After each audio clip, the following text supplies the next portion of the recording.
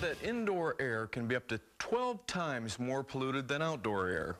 I don't know about you, but I'm sick of being sick already. Today we're going to tell you about some very smart people that have a product that will purify the air in your entire home. Now what I'm talking about differs from an air cleaner, which is designed to take care of the things that you can see with your eyes, like dust and pet dander.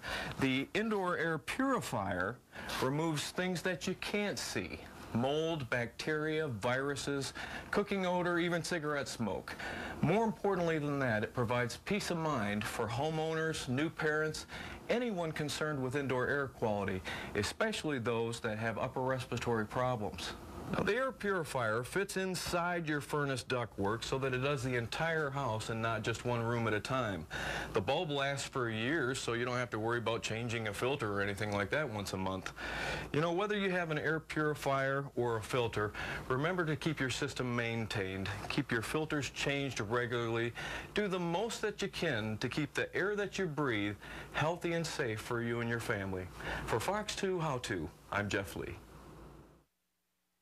And for more information on Jeff Lee and mechanical heating and cooling and to watch more of Jeff's money saving tips, head to myfoxdetroit.com and click on the money page.